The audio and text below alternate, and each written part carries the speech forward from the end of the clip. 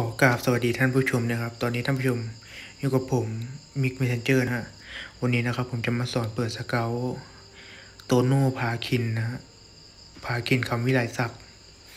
จากนักร้องนักแสดงกลายมาเป็นนักฟุตบอลนะฮะ โอเคครับสำหรับโตโน่ก็จะใช้เป็น อ่าสองอย่างนะครับ ใช้อันอันแรกก็เป็นนี่ครับนูตอันส่วนอันที่สองก็จะเป็นราชบุรีนะอันเนี้ย นูตเนี่ยครับหาได้จากประมูลนะครับ ก็จะได้โตโน่ร้อยเปอร์เซ็นต์นะครับ ประมาณนี้ครับ ถ้าชอบคลิปนี้ก็อย่าลืมกดไลค์กด subscribe ให้ผมด้วยนะครับขอบคุณครับ